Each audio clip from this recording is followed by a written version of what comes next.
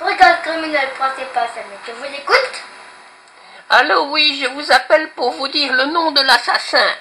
Très bien, mais dites-moi d'abord votre nom et adresse. Clic Il a recroché.